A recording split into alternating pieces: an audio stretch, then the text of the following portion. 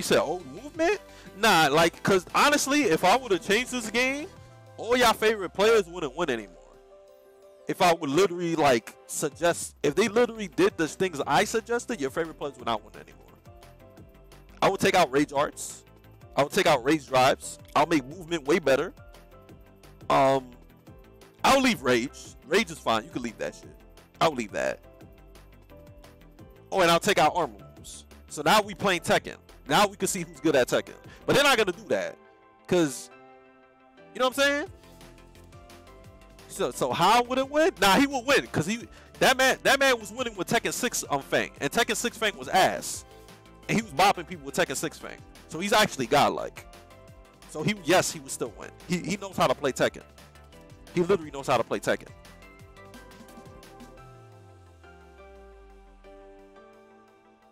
Like he knows how to play Tekken.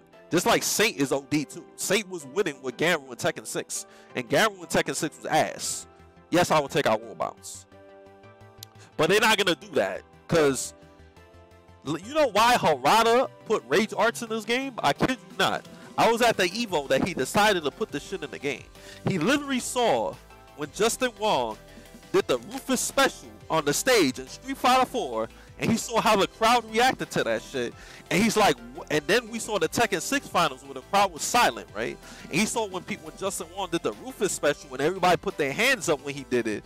And then he saw how quiet motherfuckers was when they watched Tekken 6. He was like, damn, man, I want my, I want the crowd for my game to act like that. So that's why the motherfucker put Rage Arts in Tekken 7. He literally put that shit because he saw motherfuckers like Justin Wong doing Ultras in Street Fighter 4. And he seen how the crowd reacts to it and how the crowd was doing the same shit Rufus did on the stream. That's literally the reason why he put rage arts in this fucking game. Literally. To get a crowd reaction. That's literally why he put it in the game. A lot of you motherfuckers don't know that.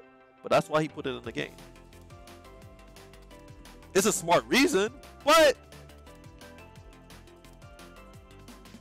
if you want to be real with you, I've never been to a tournament where somebody got hyped because of a rage art, a race drive. I mean a rage art. So it actually didn't work too well. It didn't work out too well. I've never seen somebody be like, "Oh my God, Rage Ah! and then everybody do this shit together. I've literally never seen that shit. I've literally never seen that before. Yeah, I guess though, but that's cause that's cause Tasty Steven don't make everything hype. You could put like a, a box of fucking checks in front of him and you hype it up. He's like, oh my god, checks is so fucking good. It's so good that I can eat it without milk and it still tastes good. Yeah! Like he would make that shit like hype. You know what I'm saying? Like that shit not really hype. You know what I'm saying? He can have a, a, a, a empty box in front of him and he will sell it. Oh my god, this box is so fucking good. I could put my fucking underwear and my fucking t-shirts and my fucking ketchup bottles in it. I love boxes. Everybody should get a fucking box. Like that shit is like, come on, bro. Like they legitimately try to make everything fucking hype, bro. Like the fuck out of here with that shit, bro. It did, but that's literally one random ass tournament that everybody forgot about. Like, who the fuck remembers Kagemaru versus Take at Master Cup? Ain't nobody remember that fucking tournament. That shit old as fuck. I don't even remember that shit. So you fucking reminded me that that shit happened. That shit happened? I literally forgot about that shit. The Rage Arts don't have armor? Alright. Because I'm about to end my stream. But, alright. I think, because I know they're not going to take out Rage Arts. They not. So what I would do, I would take out the armor in that shit. So if somebody smacks you, when you do a Rage Art, you get smacked and you die. That's literally, that's literally what they should do. You should literally get smacked. Like you get smacked, KO, you die. So Rage Arts, the only use for them will be like either the whiff punch or if you do it in a combo. Does that sound fair? That's what I would do. I will not put no armor on that shit. Fuck that. That's too scrubby. That's literally too scrubby. What if you get an input error? That's on you. Hold that. That's on you. Get bodied. Get bodied. And armor moves, honestly, the only way to balance armor moves, if it's everybody's armor move, is punished the same way. Like if like if they make everybody's armor move launch punishable, then the game will be more balanced. This game is unbalanced because certain characters have better armor moves than other, so it makes the game stupid. It makes the game dumb. Like, oh, my armor move could crush better than yours, or oh, my armor move is safer than yours, or my armor move is plus. Like, that shit is dumb. Like, everybody's armor move should be launched on a shoot.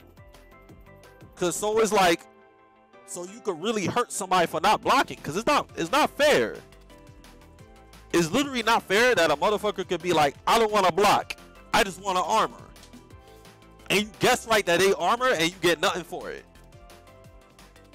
That's not every character, because Lee, if you guess right on his arm move, you're killing him. But there's literally some characters in the game that if you guess they're gonna armor, you literally get nothing for it. Like they just make you block it. And you're like, damn, I guess right he was gonna do armor. I guess I get nothing for it. You know what I'm saying? There's way too many comeback factors. There's too many scrub factors in Tekken 7. This game has a lot of issues. And they need they need to really fix this game. High armor moves are mad stupid. They suck. They suck. But this game, this game needs to be balanced a lot. I think, you know, honestly, a lot of people want a new season. This game does not need a new season. This game just needs a new game. Like a Tekken 8 needs to come out. Because no matter how many seasons and how many times they patch this game, this game is still going to be ass. Because it's obvious that this game is paid to win. When release all the DLC characters and all these mother, every single DLC, almost, almost every DLC character is top tier. So it's obvious that Namco is like, okay, y'all want to win? Buy these characters. If y'all don't want to win, don't buy them. They literally forcing people to buy these characters. They literally forcing you to buy these characters. Because if you don't buy them, you're not going to win. Don't listen to these fairy tale motherfuckers like, yeah, you can win a whole tournament with Lee Chaolan. Yeah, you can win a whole tournament with fucking uh, Warren or whatever fucking character you play. That's bullshit. Because when you play the real motherfuckers that gonna win, that wanna win, them motherfuckers are gonna use Fahkumram on your ass. They're gonna use Lydia on your ass. They're gonna use Kunimitsu on your ass. They're gonna use all the I wanna win characters.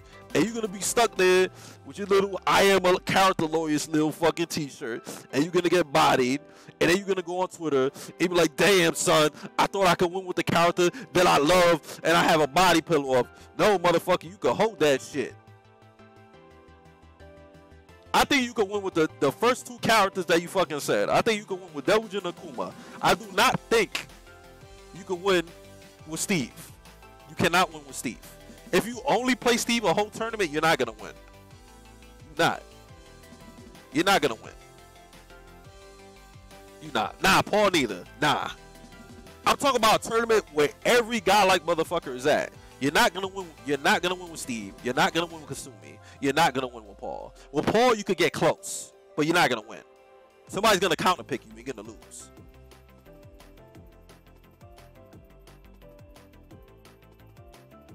Yeah, but that's not really like a true counter pick though. Cause Steve is like good, but he's not that good. Oh, use Lydia. Yeah, that man just plays whatever to win. I think Japanese have the best meta. I actually think Japan is the best in Tekken. Because they literally play to win. They're the only people in the... Well, Pakistan plays to win. Well, Arslan plays to win. But um, Japan literally plays to win. They literally play to win. They, they be like, if you're not top 10, we not playing No, Steve can def win a tournament? Nah, he can't. Yeah, but that's like online shit, though. He wasn't like and he plays mad different characters though. So I don't really count that shit. I never seen him win no offline major with no damn Steve. Yeah, but they play mad characters though. It's not like they're gonna play Steve the whole tournament. Yeah, but you say you, you basically saying him only playing Steve. They don't only play Steve the whole tournament. They don't. They do not play Steve the whole tournament. They do not.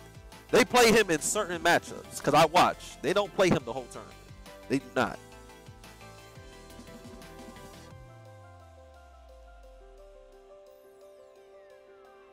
They not you're not gonna win the whole tournament. Feng Wei, you can win the whole tournament with that motherfucker. So step your game up. Step your game up, Skrab. Cause Feng Wei is top 10, motherfucker. And I don't care what the fuck you say. Feng Wei is OD. Feng Wei is super OD. Feng Wei is ridiculous. Yes, you could. Motherfucker, every top Japanese player literally said that he's top 10, dude. Literally every top Japanese player said that motherfucker is top 10. They said they said probably top five. That's how good he is. That's how good he is. They said that he's ridiculous.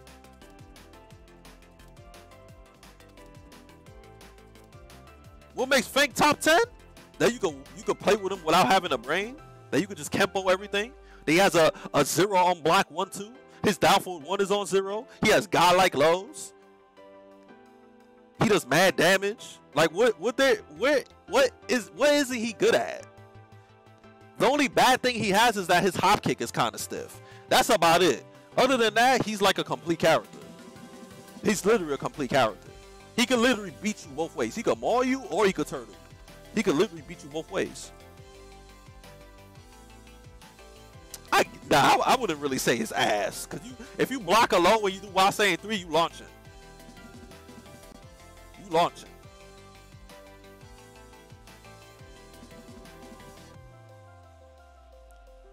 He godlike though. He's super godlike.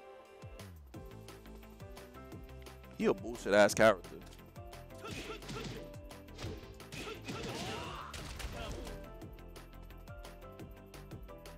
Buggy, but he's still a top 10 character. There isn't really any characters that's really better than him. You know anybody that's better than Feng Wei? Like, who you think is better than Feng Wei? Like, who better than him? Steve ain't better than him. Paul isn't better than him. Who else is not better than him? Dragunov ain't better than him. Better than him? They ain't, they ain't really the only characters that's probably better than him is like Devil Jin. Like Devil Jin, Akuma. Who else is better than him?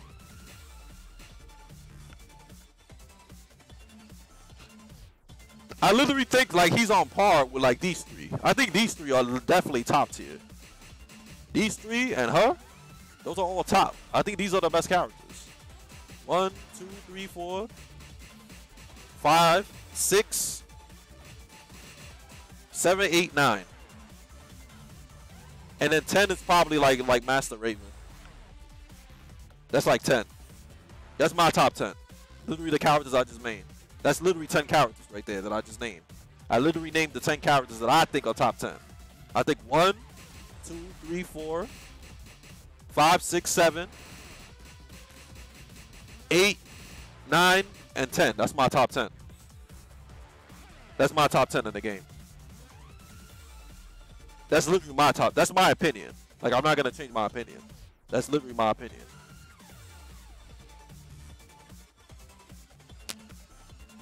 Master Raven is OD. That's my opinion.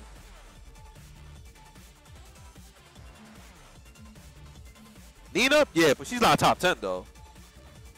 Yeah, Geese is like top 15. I don't rank him top 10 is because he has a lot of bad matchups. It's too hard to win a tournament just playing Geese. He has a lot of bad matchups. It's too hard just to win a whole tournament just playing Geese in this season. It's too hard.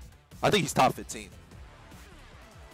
Cause there's no there's nobody that only plays geese now. Even Chikurin don't only play geese. He be getting clapped when he only plays geese. Like Male Ill tries, but he gets clapped too. He's like top 15. He's not top 10. I don't think he's better than any of the characters that I mentioned. The characters I mentioned have better matchups than him.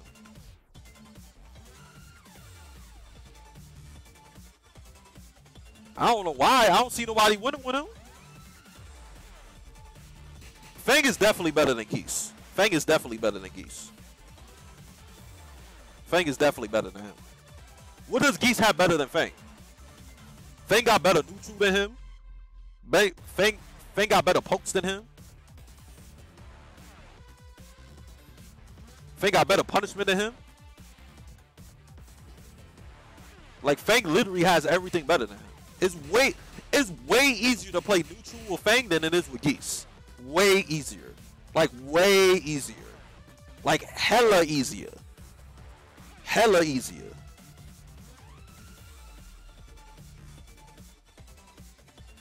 I know they don't have him as top five because they know how to fight him. He's moving over Fang? Yeah, but that's only if he has meter. If he doesn't have meter, he has to he has to ground game.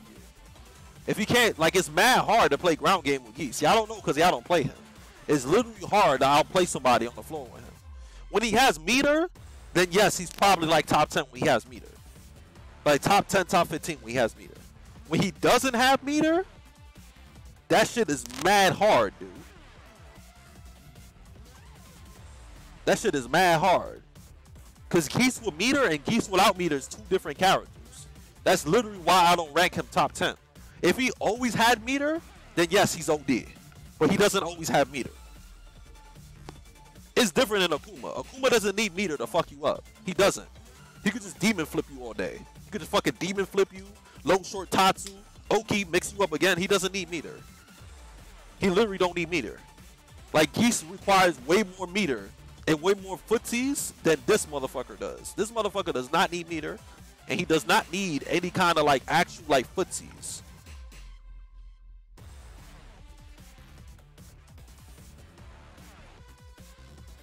It depends. It depends though. I can't really say that. It depends. Because if he wins a round, he probably still doesn't have meter. Honestly, Raccoon, you don't know how to fight Geese. Because honestly, one of his worst matchups is actually Fang. Like, Fang is really bad. Geese is really bad. Like, Geese is really bad against Fang. He's really bad. I even asked Chicken at Summer Jam. I was like, yo, what's Geese's worst matchup? And he said Fang. He literally said Fang. Because Geese is not supposed to lose. Fang is not supposed to lose this matchup.